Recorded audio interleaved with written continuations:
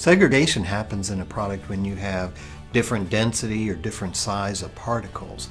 So in vertical transfer, those particles will separate.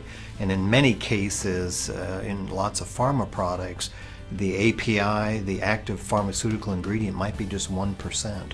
So if you have a pill, you don't want 2% in one pill and none in the, in the previous pill. The EZ-Down would be a solution for you if you have any vertical transfer of materials. If you have a critical component that is getting separated during transfer, you may be blending in one area, putting it in a hopper or a bin, and shaking as it comes along, and then it gets segregated.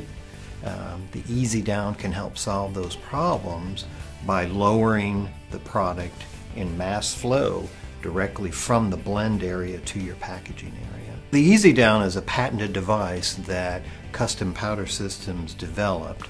Other companies have tried different methods to duplicate it, but not with the same success. Customers are thrilled with the way the EZ-Down is working for them because it eliminates the segregation problems they've experienced. I'm Denise McIntosh, and this is Custom Powder Systems. And the next step in solving your problem is give us a call.